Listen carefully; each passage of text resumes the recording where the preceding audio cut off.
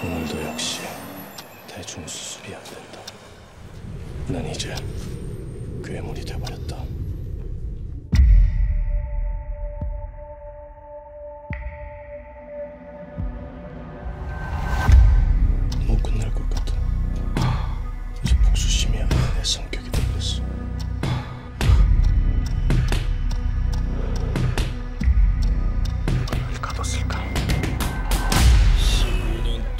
당신을 지켜봤어요.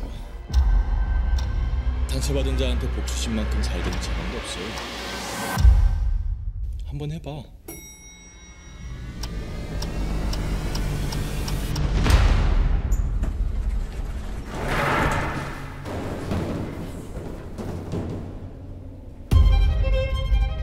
복수하고 싶어서가 아니라